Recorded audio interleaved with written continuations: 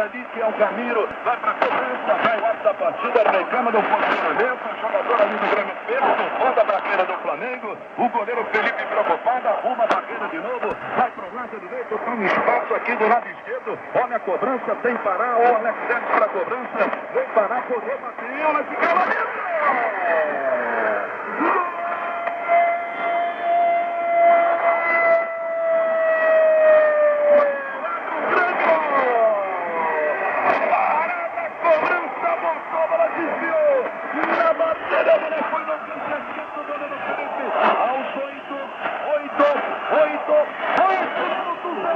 Oito jogados dessa etapa.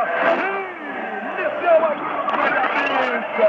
Esse é Canara. E no placar tá aqui, ó. Grêmio 1, 0 Flamengo. É, Borges, o Fora deu. Foi exatamente o Pará, pé direito na O Felipe ficou reclamando que a barreira não, não, não subiu, não pulou e ele também não foi na bola. Pará abre o placar para o Grêmio no Garrincha. Faz a festa, galera do Tricolor dos Santos. Agora Grêmio 1, Flamengo 0, Borges. E aí, esse é o Valdir. Parar uma cobrança espetacular. Mas a barreira vacilou. Felipe também, Davi. Olha, o Felipe vacilou porque vacilou a barreira de uma posição difícil